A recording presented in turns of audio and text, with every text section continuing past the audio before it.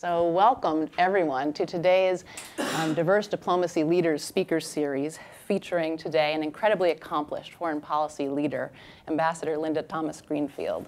Thank you so much for being here with us today. Thank you.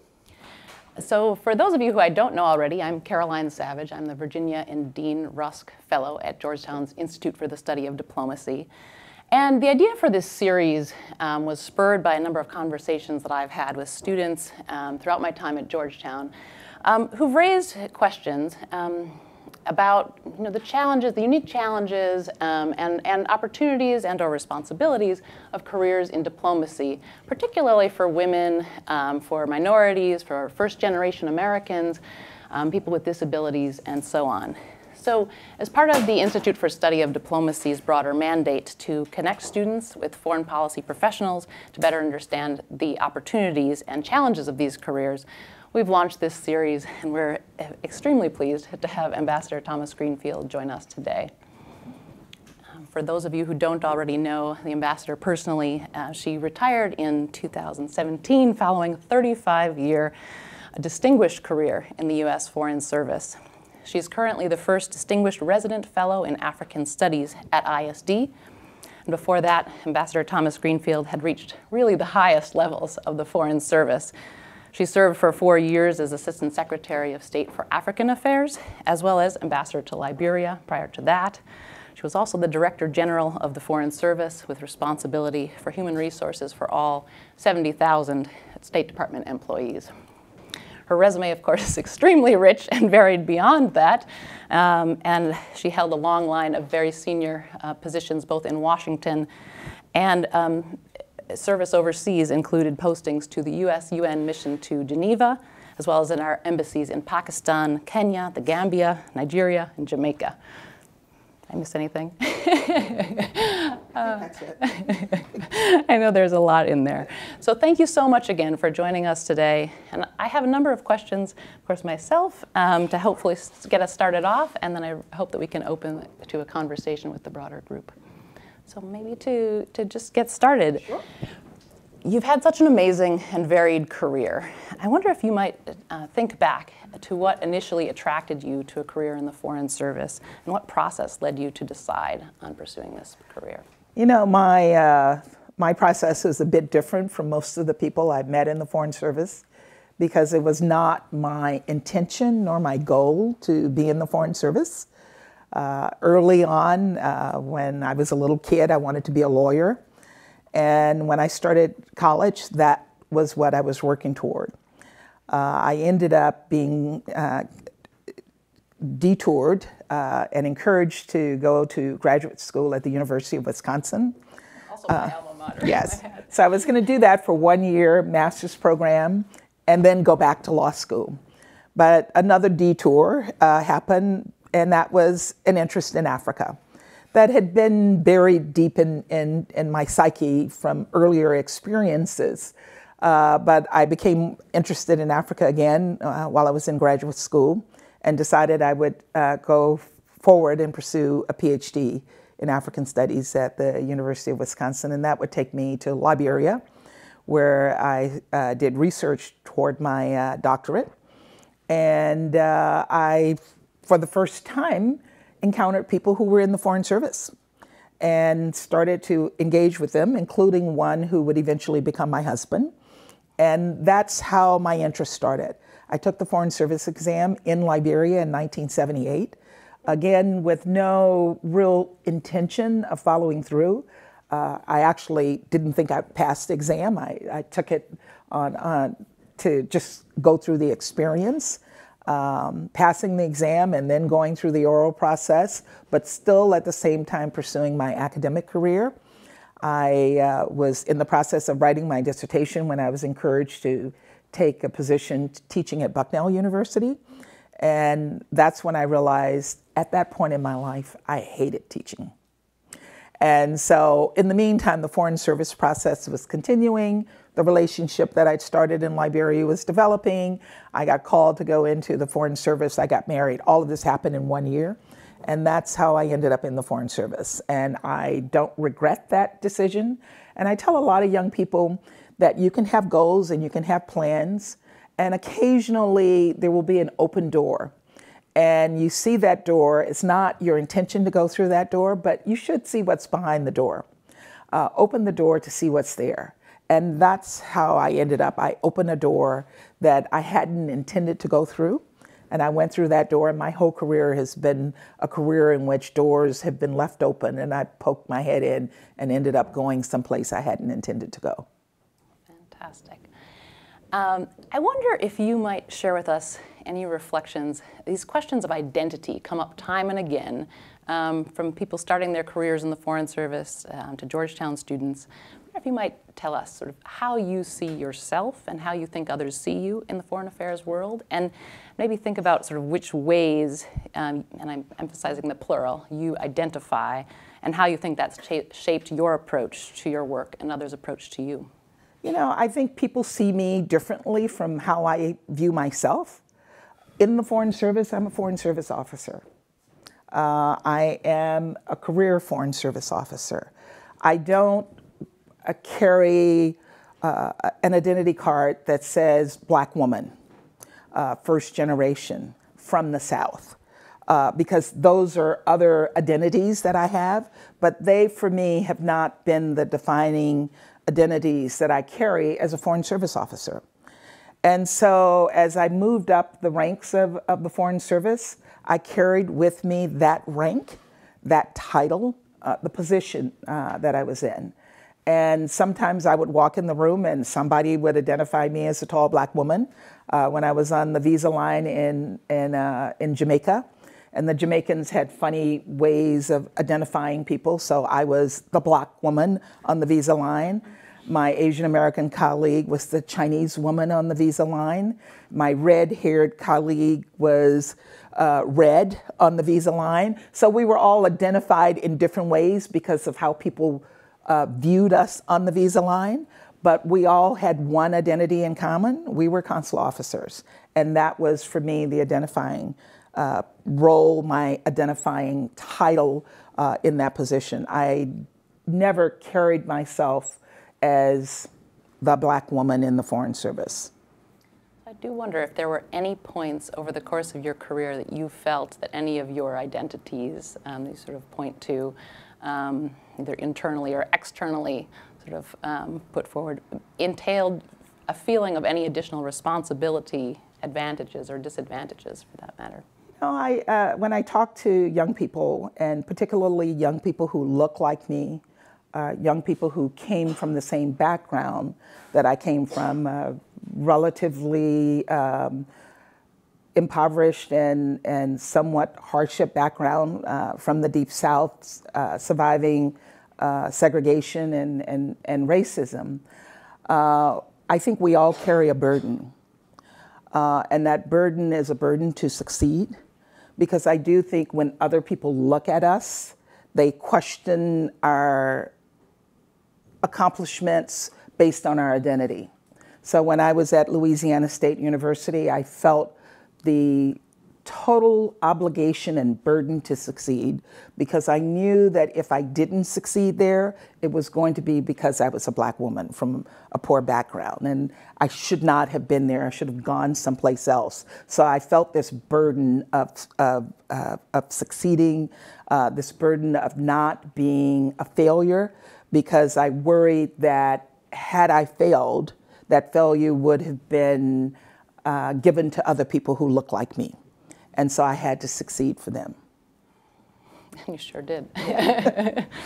uh, every step of the way, it seems. Um, I wonder if you might also, sort of thinking back, um, reflect upon uh, over the course of your career, um, whether eh, you know the foreign affairs communities or the State Department's approach to a diverse and inclusive workforce has changed over time, whether it's improved or backslid, whether there are any policies or programs or initiatives that you've seen um, actively support and encourage change. You know, when I came into the Foreign Service in 1982, uh, the State Department had two class action suits that were on the books and actively being pursued. There was a, the Palmer suit, the women's class action suit, and there was the black class, class action suit, uh, the Walter Tom, Thomas versus State Department suit. I wasn't the Thomas, there were, it was another Thomas.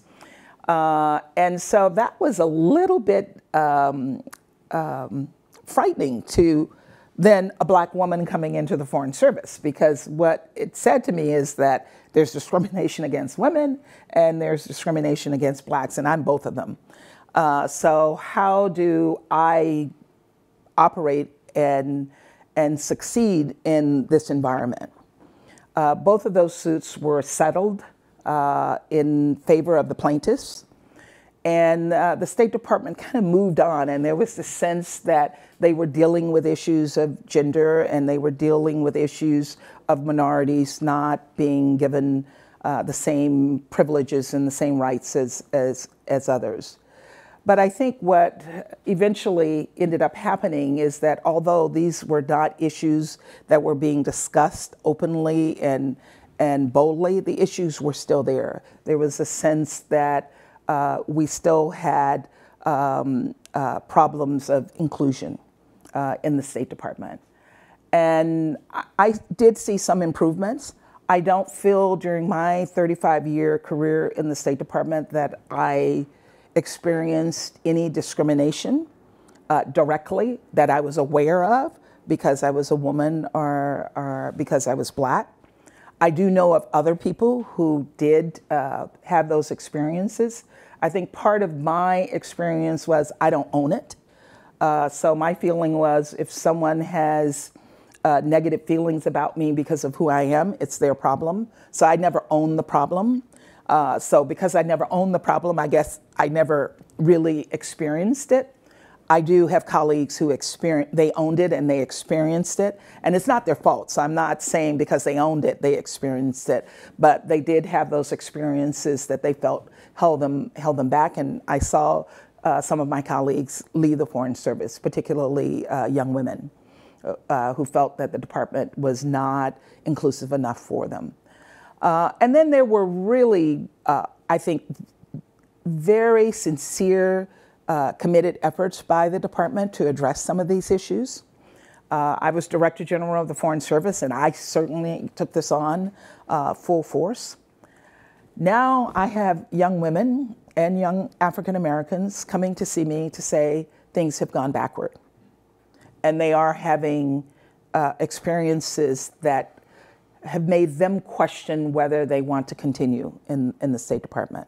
And I probably have young people, probably one a week, um, over the course of, say, the past uh, six months, uh, who have come to me with some concerns about whether they, they could continue under the current environment that they are, are dealing with in, in the State Department. Of course, I'm encouraging them to stay. Uh, I, I think that uh, the situation that they're going through, uh, they have to be there, they have to be part of it, they have to challenge it, uh, and they have to make it better when the situation uh, gets better. And um, I, I, had one young woman come to see me actually yesterday, and I decided to have a younger colleague speak to her because I, my, my response was, hang in there, girl. Uh, you can get through this uh, and you will be a better, stronger person if you get through it. And she, I could see on her face that this wasn't resonating with her. So I brought in a, another colleague and I said, you know, talk to someone who's more your age. And the other colleague said, get out. you don't have to take this. You're bigger and you're better than this, and you can do better than this, and you need to move forward. So we kind of confused her. Uh, uh, but she, at least she got both sides of, of the story. So, sort of jumping to, I mean, the, your perspective from now, I wonder if there would be, um, with all of your experience in the Foreign Service and um, with the last um, couple of years changes, any steps institutionally that you might recommend to state or the foreign affairs community writ large to improve the culture and opportunities for all people of all types to equitably succeed? You know, I when I was Director General, uh, one of the things that I thought would have made the State Department more attractive uh, to your generation and, and those um, below you or younger than you are uh, is that we we become more flexible. Uh, most of your generation are not people who are going to stay in the same job for 35 years. Uh, uh, my generation prides itself on the fact that we could hang in there in the same job for 35 years. I, in the Foreign Service, you're changing, but you know we commit for a lifetime. Uh, your generation wants a little more flexibility. Uh, you want to take time off if you're a woman uh, to have your children, or even if you are a man, to, to devote time to your family. You want to do development assignments. You want to take three years off and go to law school and come back to the State Department, or take a year off to go and, and work in a refugee camp, or do something different and then come back to the State Department. The State Department doesn't have the flexibility to, to allow you to do that. And so during my period as Director General and since, I have seen a large number of people leave because they didn't have the flexibility. Uh, again, for a woman, my generation was, and I, I laughed about this, I had an experience uh, young in, uh, when I was much um, younger. Uh, I was pregnant and I was trying to figure out how to uh, maneuver through uh, being pregnant and staying in the job and not having leave. And I asked for leave without pay, and the system didn't allow it. And I jokingly said, I'm, I'm a superwoman.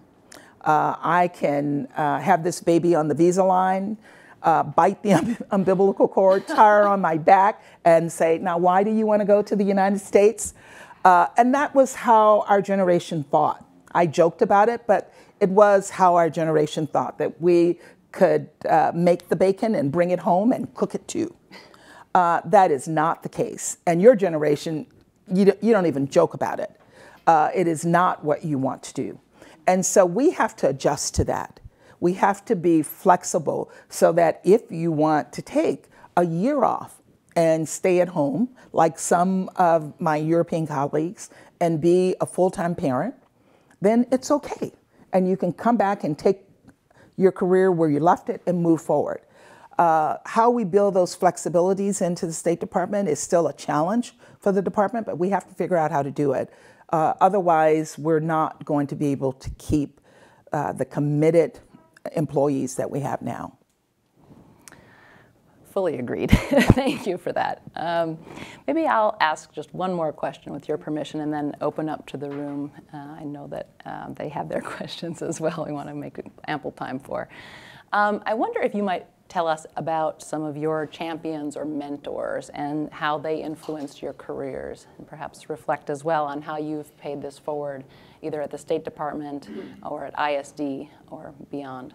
You know, I feel I when I came into the Foreign Service and I, I, I didn't have mentors and I didn't have champions, and I see the young people uh, we're dealing with in ISD and here at the university, and you're meeting senior uh, uh, State Department officials at a very early stage in, in your careers. You're engaging with people who are doing the things that you want to do in the future. Uh, if you grow up in a small rural town in, in Louisiana and you go to uh, Louisiana State University uh, in, in Baton Rouge, you're not going to have the kinds of engagements that you students are uh, fortunate to have at, at this university. Uh, so I, I felt uh, very early in my career that I needed to make myself available to people outside of uh, Washington, uh, D.C. So from many years ago, whenever I'd go back to Louisiana, I always spoke at local high schools. I always spoke to even elementary school kids so that they can know that there's such a thing as a diplomat and, um, and there's the Foreign Service because I didn't know that when I was a little kid uh, so that they can decide, like some of my colleagues I've met here who told me, I decided I wanted to be in the Foreign Service when I was in third grade. Well, I hadn't even heard of the Foreign Service when I was in, in high school.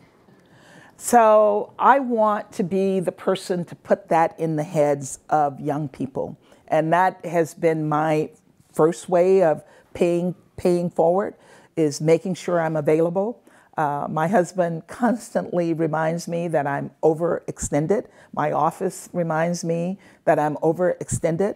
Uh, because if any young person contacts me, they send me an email, I will answer and I will see them. So I spend a lot of Saturday mornings having breakfast with young people who are interested in just hearing about my career or figuring out how they can pursue a career like this. Uh, if I'm invited to give a speech at a university, and I do a lot of speeches if I'm you know, going to South Bend, Indiana, as I did a, a few weeks ago, I always ask that they arrange for me to do a high school uh, while I'm there. And if I can do a high school, if I can speak to high school students, I will, uh, I will do that. So that's one way I, have uh, I've paid it forward. And the other way, when I was Director General of the Foreign Service, uh, I got this reputation uh, from uh, my, my staff who were dealing with all kinds of issues. These are our, our career um, development and, and assistance officers, and they have the hard chore of trying to get um, a, a, square peg in a round hole. Like, I gotta get a person assigned to this position in the Gambia, and nobody wants to go. So, how do I entice this person to go there?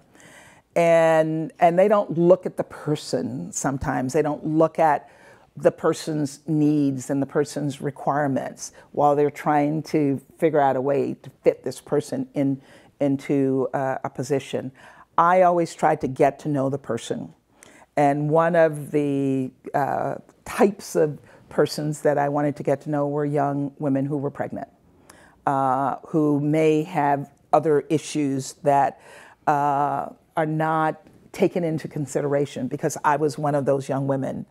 And the then Director General of the Foreign Service, Joan Clark, helped save me from myself because I decided that the State Department was not um, going to work for me uh, because they couldn't figure out how to deal with a young uh, mother, uh, not yet mother, uh, who had assignment needs uh, including the need for leave without pay because she'd just come into the Foreign Service and the system didn't allow leave without pay for uh, junior officers. So they literally couldn't figure out what to do with me. Uh, and I wasn't a leave abuser, and I kept saying to them, I'm not a leave abuser. I just came into the Foreign Service, and I'm going to have to take leave.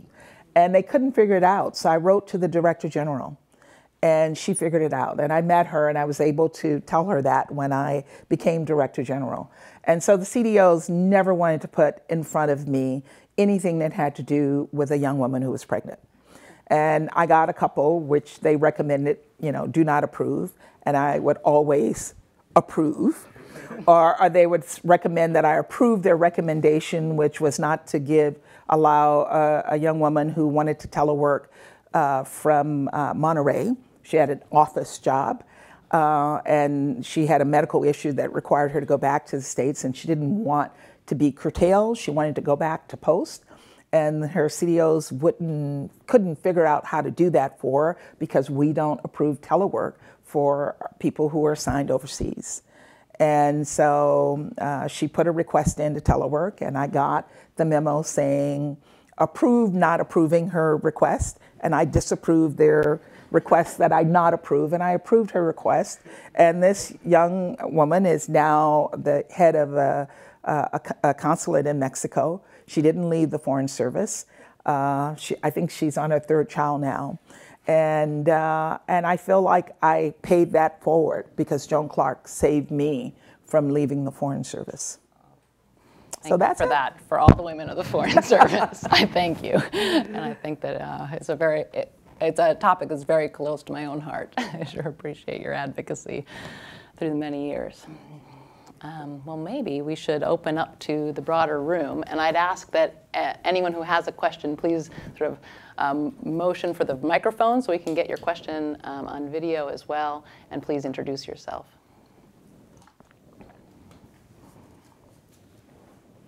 I'm Chris Wagner with the School of Foreign Service, and I'm curious about why you did not want to go to the and join the uh, foreign service because you tried very hard to sort of avoid it. I actually didn't try to avoid it. I didn't know it existed. So I was, uh, as I said, I grew up in, in the rural South in a segregated community going to a segregated school, and that kind of experience was not introduced to me, uh, not even at the university level. I mean, I knew that we had diplomats overseas, I knew that there was a foreign service, I just didn't uh, conceptualize that it was available to someone like me. And it was only when I went overseas, I was 26 years old, that I started seeing uh, this as a possibility. Uh, but I'd already made up my mind that I wanted to be in academics. And, uh, but I went through that crack in the door and discovered that there were, uh, that this was an option. So I wasn't avoiding it, I just didn't know that it was possible. What other questions do you have? Please. Hello. Um, thank you so much, uh, Ambassador Linda, for your um, inspiring messages. Like you, you've always like inspired all of us, even like to me, an international like student. So my question is, oh, I'm Tipa. I'm a master student from Center for Latin American Studies, and I'm joining my country's foreign service very soon this summer. I'm from Thailand. So my question is that, what do you think about um, being a diplomat? That we have to have our own maybe expertise, like specialization, but at at the same time we have to be general. It's kind of we have to be on one hand generalist and then specialist at the same time. It's it's like a contrast like concept. So like how do you think about that and how do you like suggest that to manage that like being specialized and general at the same time? You know, you. I, I think that's a special skill and I think it's a skill that you should want. So, coming into the Foreign Service, we all have to be generalists. You have to be flexible. You have to be prepared to do whatever is put uh, in front of you. But you also have to figure out how you stand out as a, uh, as a personal, as a person and as a professional. What is it that makes you special that people want you on, on, on their team? And for me, early in my career, it was working on refugee and humanitarian issues. And it became my expertise. Uh, while we had lots of other people who did this work, but they did this and then they moved on to something else, I decided that I was going to own being a, a, a humanitarian and refugee specialist. And it got me a succession of about five jobs uh, and it helped me develop a reputation beyond being a, a person uh, working on refugee issues, but a person who showed compassion. Uh, a person, it gave me an opportunity to show who the real me was, uh, which is that I'm very deeply compassionate and kind. And those skills attracted other people to me. So I'm working on refugee issues. I think this is how I'm going to end my career and I got called to go to uh, work in the Africa Bureau after I'd left the Africa Bureau when I was very, uh, uh, very early in my career. And I got called back to the Africa Bureau as a deputy assistant secretary. And when the assistant secretary interviewed me, she told me that she talked to three people separately who recommended me, and all three of them referred to me not only as hardworking but kind. And so that's my specialty. And that specialty helped me to pursue the general things that I ended up doing that eventually led to me being an ambassador uh, and then the Assistant Secretary of State. Uh, Mark Storella from ISD. Linda, uh, it is alarming to hear what you've said about how many people um, are concerned about the service, about backsliding in the way we're treating people, and considering leaving. Is there anything that you would suggest uh, uh, informally for senior officers that we can do better uh, to turn this around? And anything maybe formally that we as an institution could do in terms of the way we train people to be more effective in retaining uh, talent uh, amongst our diverse population? Well, first, I, I think we have to be available. Uh, because uh, unfortunately, I think the State Department was uh, effectively decapitated uh, over the, past two years. And so there are not as many senior people or people who have been uh, mentors and supporters of uh, the generation below us. They're, we're not there anymore. But we're in town, and so we need to make ourselves available. And that's why I, I do keep kind of a place on my calendar uh, for those kinds of appointments so that I can talk to people, I can encourage them, I can support them, and, and push them forward. I may have mentioned I uh, went to the department for a very short stint uh, about uh, six months ago, and I ended up being totally devastated by the number of people who uh, were pulling me uh, in the hallway to say how miserable they were. And uh, I felt that I had a, a, responsibility to buoy them up and not to encourage them to leave because I don't want to see people leave. I want uh, good people to stay. Uh, and um, so I felt it, it, was important to make myself available now that I'm not in the, in the department to encourage people on that front. And then I think we have to engage with the, uh, the with AFSA, the American Foreign Service uh, Association. Uh, we have to engage with members of Congress who are looking at how uh, the State Department is uh, being uh, treated and encourage them to take an interest in ensuring that, um, that we survive this onslaught and that has been, uh, I, th- I think that has been one of the areas where I have been very focused, and I think other senior officers have been focused and will continue to uh, work to promote the State Department, advocate for the State Department, advocate for professional uh, careers in the Foreign Service. Hi, Jim Severs from ISD. Uh, thank you, Linda. Could you say a little bit more about your thinking about work life balance? Um, a professional couple with young children, institution like the State Department or other institutions that are, you know, some of the more interesting places to work. Um, and sometimes the focus of the institution is a lot more on the work than the life, and there's you know huge pressure uh, to let's say be at the office all the time. Or how how how did you deal with that, and how do you think young people should deal with that? You know, I, I think part of the problem is we expect the State Department to give us work life balance. And the State Department is all about the work part. And if it's really, if, if you're really lucky, you might have a, a supervisor or a head of HR who thinks it's important that you have work life balance. But ultimately, individuals have to be responsible for their work life balance and demand it uh, from the State Department. Uh, my own approach uh, as I moved up in, in my own career and I was married with children very, very early uh, was that my children came first and I wasn't embarrassed by it. Uh, I had no problems saying that I can't take that assignment because I can't take my children there or there's no school for my children. Uh, it was not an option for me to put an eight-year-old in boarding school, which I had, uh, I, I, know one, at least one colleague uh, who made that uh, very, very tough decision. Uh, so I chose assignments that met my priority, which is that I stay with my kids. And then the second priority, because I was a tandem, both my husband and I were in the Foreign Service, that we had assignments together. Ultimately, it worked out perfectly for us because we ended up going to places that nobody else wanted to go, that happened to be a school. So we didn't have people jumping through hoops to go to Lagos, Nigeria in the mid 80s.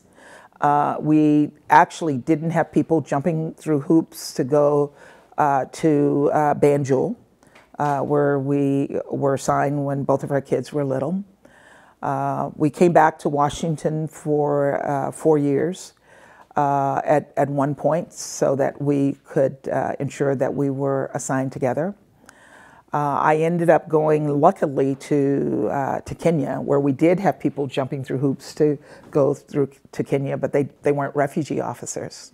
Uh, and I had that skill, that specialized skill that you talked about. So I was able to get this assignment in a place where people would uh, cut off their arms to go to. Uh, but I got it because I had the specialized skills. And then it happened to be a place where there was a position uh, for my husband and a great school for my, for my kids. Uh, similarly, I ended up going to Pakistan.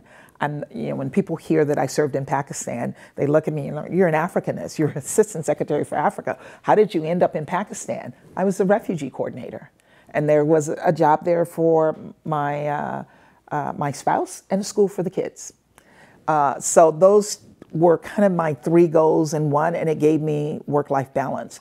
And I liked the refugee work because even though you're dealing with hard uh, uh, situations, it was pretty much a bureau that was very family friendly. Mark can, can tell you that. And so I wanted to stay in this bureau because I knew it was family friendly, even though I was being told that I would never get promoted. Uh, my career would be over if I took one more refugee assignment. I had five. Um, and you know this is going to be your, your, this is your last assignment as a refugee officer and i'd push and take one more. Uh, and it never hurt my career and i was in a bureau that respected uh, work-life balance. Uh, but i made the choice.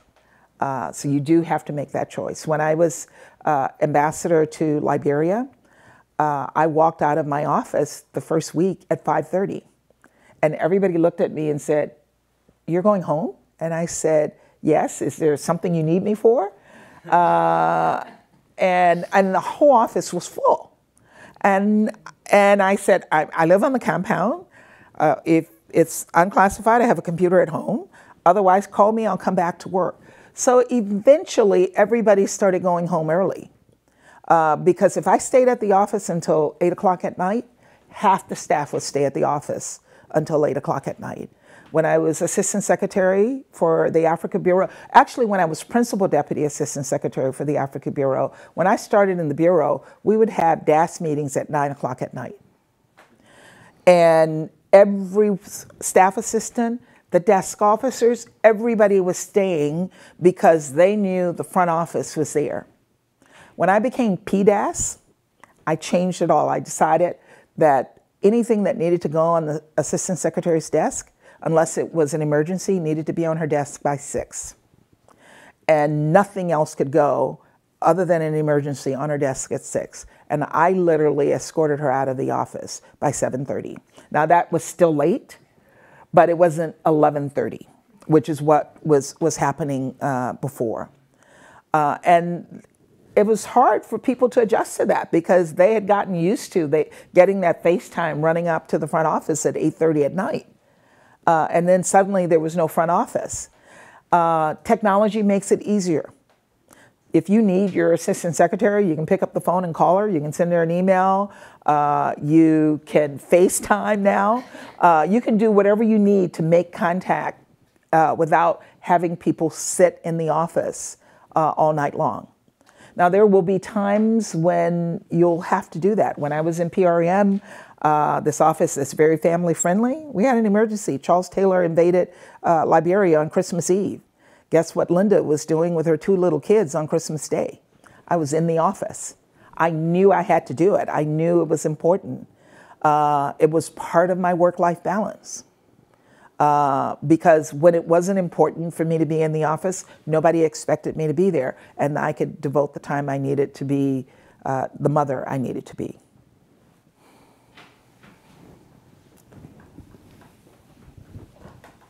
Hi, my name is Musna. Um, kind of going off the work-life balance question, um, how did you kind of separate yourself from the work, just even like on a mental health level is what I'm really kind of getting at, um, especially within the State Department institutions. Are there resources and um, things that they help with to kind of deal with the things that you have to see? You know, there were not when I was uh, er, not early in my career. There were no resources there. You you kind of had to make it up yourself. There are resources in the department now that are available to individuals to help them deal with some of the stresses of, of work. Uh, there are mentoring programs. People are assigned mentors. Uh, in the early stages, somebody had to kind of grab you and decide that they were going to mentor you, or you'd have to kind of beg this person to, to, to mentor you. Now there are formal mentoring programs, and people are encouraged to seek uh, mentors and to talk to uh, people who can give them advice. There are resources in HR uh, that will support efforts of employees to, to figure out how to uh, balance their, their work against uh, their uh, personal needs. Uh, there are mental health uh, resources in the department as well through the medical unit, and people use them. So there are lots of, of tools out there to support people, but ultimately it's going to be, and, and a lot of people disagree with me on this, it's, it has to come from you. You have to want the work life balance. You have to be prepared to make the tough decisions. You have to be prepared to say no. So when I was asked to be the staff assistant to the DG, Ed Perkins, I said no. Uh, I have two kids at home and I live 35 miles from DC. I can't take a job that will require me to work until 8 o'clock at night. And he looked at me and he's still my mentor and he's still a wonderful person. He says, Don't worry, you should be able to get out of here every night at 6. And I believed him. Uh, I never got out of there at 6. Uh, fortunately, I had the other side of the work life balance. I had a spouse who was willing to uh, fill up uh, the slack and take on the responsibilities that I, I couldn't take, take on. But everybody doesn't have that other side.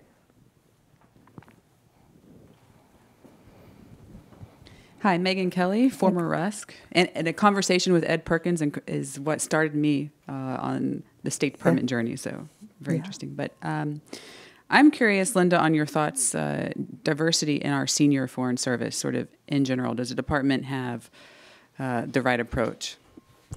Uh, I think we had the right approach. Uh, I'm not sure that exists uh, today. for there to be noticeable diversity at the senior ranks of the State Department, uh, it has to be determined, it has to be committed, and people have to make the decision to do it.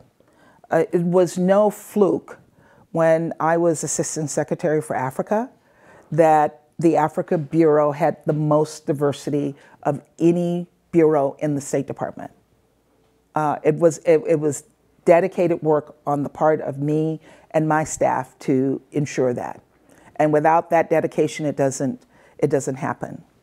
Uh, and it also has to come from everyone. I don't want to be the black woman at the top of the State Department making sure that that minorities and women are put in senior positions. It has to be everybody. It has to come across the board.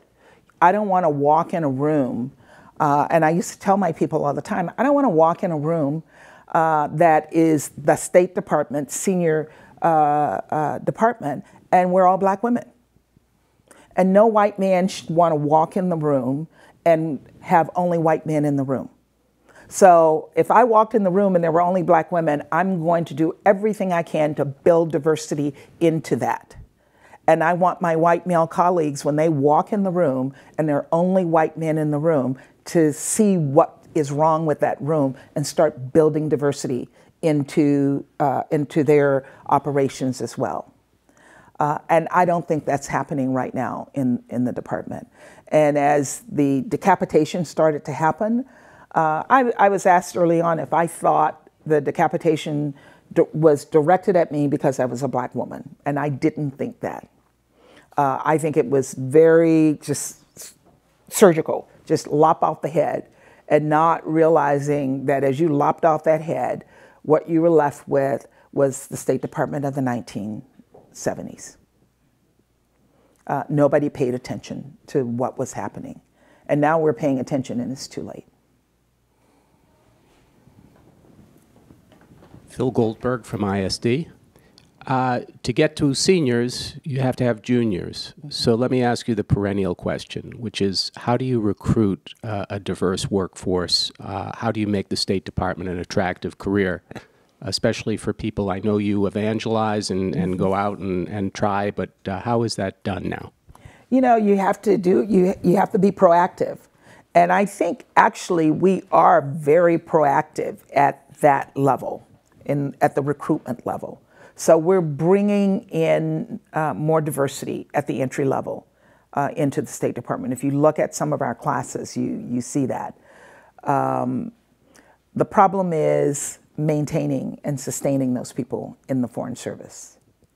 Uh, you want them to be part of it. You want uh, diverse people, women and minorities and LGBT, to feel like they are appreciated uh, in the department and that they are not being discriminated against because of who, who they are.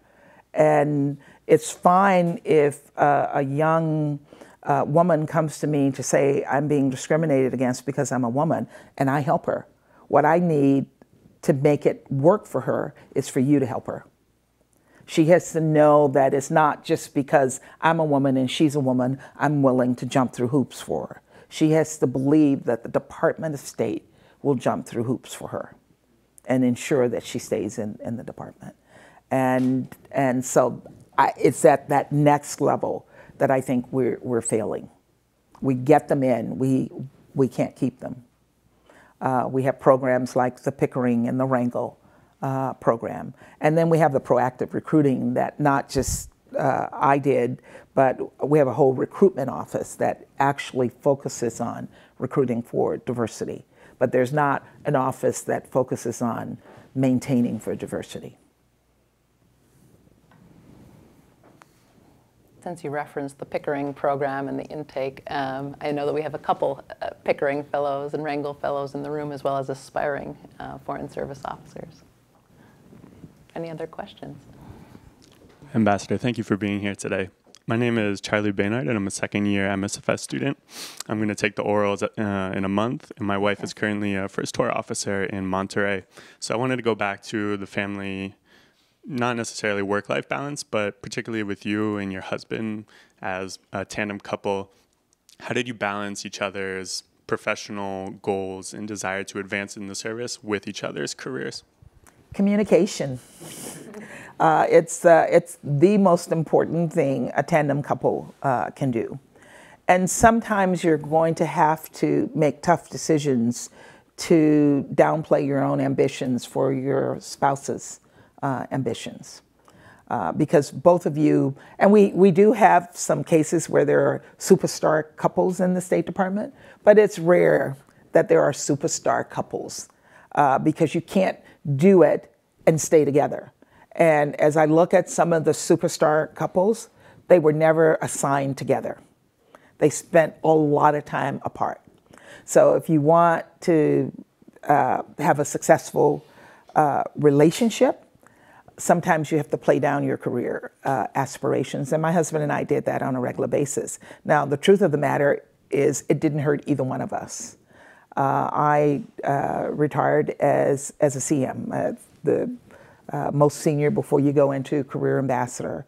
And my husband was on the technical side, and he retired as an O1.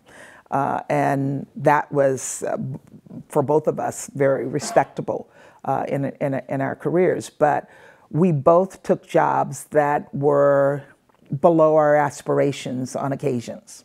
So my husband, when we went to Geneva, Switzerland, was an O1 and an O3 job. Uh, and most young people in the Foreign Service and older people will never take a two grade down stretch. And his view was, I've made it to an O1, who cares if I'm in an O3 position? And then he made that O3 position uh, into an O1 position. And when he got ready to leave, and suddenly people learned that it was they were recruiting O3s, uh, they were upset and they upgraded the position. But it never bothered him that he was in a position that was a two grade downstretch. Uh, I did a one grade downstretch uh, for an entire assignment. And in that one grade downstretch, I got promoted to the next grade. So I was suddenly, at the end of it, I was in a two grade downstretch.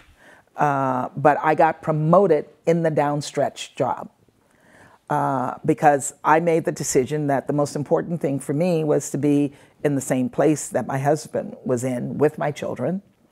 And you tend, when you make those decisions and you know that you're doing a job, you try to do your best. So I'm not going to not do my best because I'm two grades above the job. I'm going to do my best uh, because I want to be in that particular job because it met goals that I had. Uh, we, when I was Director General of the Foreign Service, we had a young tandem couple. In fact, the, the the one of the employees was in the service, was in Chinese training, had been in Chinese training for a year, was getting ready to go into the second year of tra- Chinese training, and his spouse came in. She was a Spanish speaker.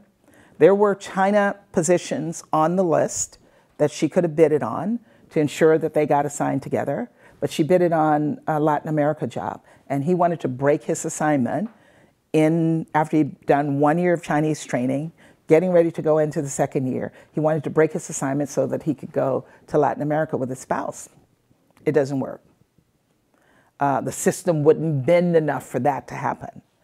Uh, and when I met with them, I said, th- th- there was an easy fix for you. There were seven positions in China that you could have bid on. Uh, why didn't you bid on the positions in China? Well, she was more concerned about doing what she wanted to do. And so the system didn't work. She came into the Foreign Service and he actually quit. Uh, and it was our loss. It really was our loss uh, that, uh, that this person uh, quit the Foreign Service. But sometimes you have to be, in addition to the system having to be flexible, employees have to also show some flexibility. So I would encourage you to show flexibility. Sit down with your, uh, uh, with your wife every time there's an assignment and decide whether that place works for the two of you and why it works.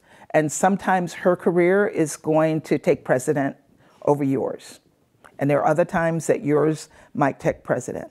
And what that will mean is that your uh, progression will probably be a little bit slower than the progression of a colleague that doesn't have to take into account a spouse's career.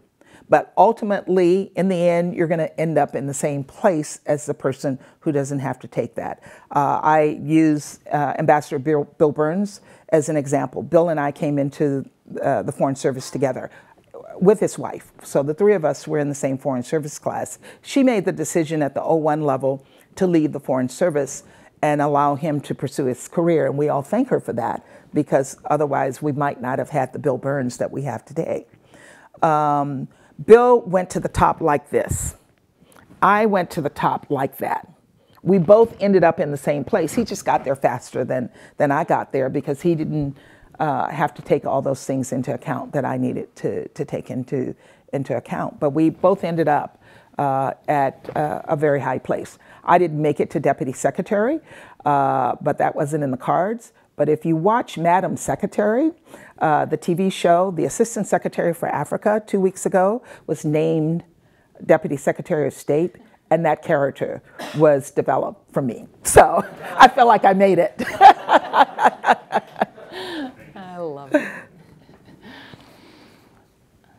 Well, what other questions do you have? Yeah. Hi, Bianca Kemp from ISD. Um, before you said that two of your strong suits are kindness and compassion, and to that I would add humility. How have you maintained those characteristics throughout your career with the tough assignments that you've had? It's kind of in my psyche as well. Uh, I'm always reminded not to forget uh, where I came from. And if you don't forget where you came, you are always humble.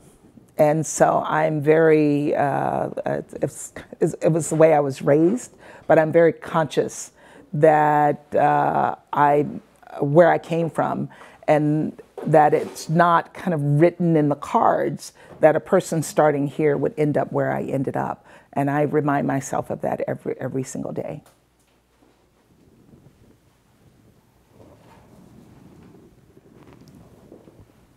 Um, so, um, Ambassador Thomas Greenfield, I know you've mentioned in the past that a representative foreign service is one that really represents the United States.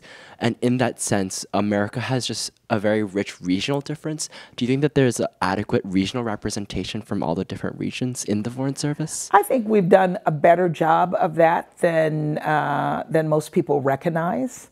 When, we first, when I first came into the foreign service, everybody was from the East Coast and it was a rarity that you would have uh, people from the South.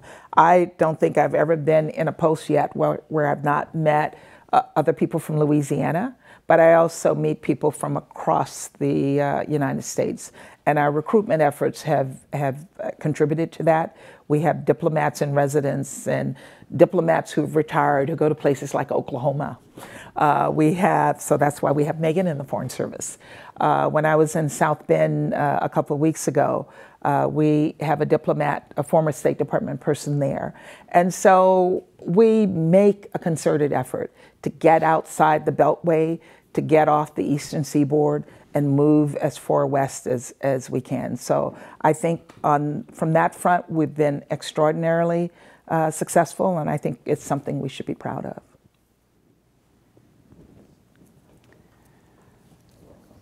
I really want to ask on behalf of the Pickerings and the, some of the students who are aspiring um, to careers in the Foreign Service and starting their careers in the Foreign Service, what advice might you give them at this juncture in our, in our history?